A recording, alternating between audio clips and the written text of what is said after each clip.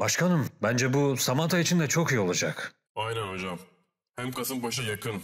Bir de tanıdık bildik yer yani. Sadece ufak bir masrafı var, onu da hallederiz ha. O hiç sıkıntı değil. Çikolatalı pasta yer misin? Yok sağ ol afiyet olsun. Ozan beni Kasımpaşa'ya gönderiyor. Başkanla hocayı konuşurken duydu. Yapma ya. Olsun be Samat'ta hem Kasımpaşa'ya giderek de Bırsası para destek olabilirsin. Samata neredesin ya? İki saattir seni arıyorum. Bir şey konuşmamız lazım. Hoca beni Kasımpaşa Spor'a göndermeyin ne olur. Ben burada kalmak istiyorum. Ne diyorsun oğlum ne Kasımpaşa sporu? Başkanla seni konuşurken duydu. Her şeyi biliyor hoca her şeyi. Ya oğlum seni Kasımpaşa spora göndermiyoruz ki. Kasımpaşa'da tanıdık dişçi var ona göndereceğiz. Dişine implant yaptırmak için.